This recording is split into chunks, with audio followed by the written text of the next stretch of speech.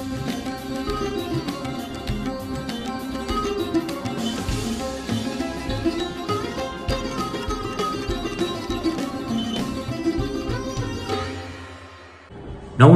আজকে একটা ছোট্ট কথা বলতে আপনাদের এই ভিডিও আপলোড করছি।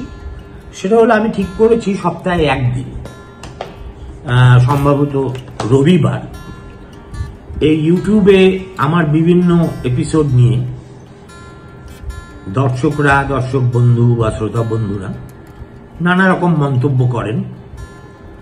কখনো কখনো আমি লিখিতভাবে দু এক লাইনে জবাব দেওয়ার চেষ্টা করি, সবসময় পেরে উঠি না।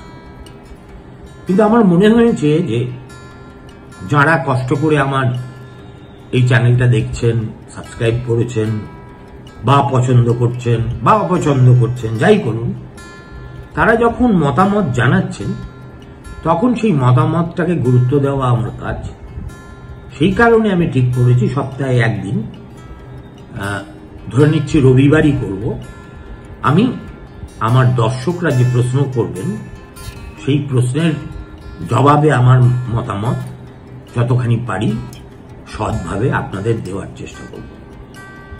আপনারা খোলা মনে মতামত দিন, যাতে আমার একটা আমার অনুষ্ঠানটাও সর্বাঙ্গ সুন্দর হয়ে ওঠে। ভালো থাক।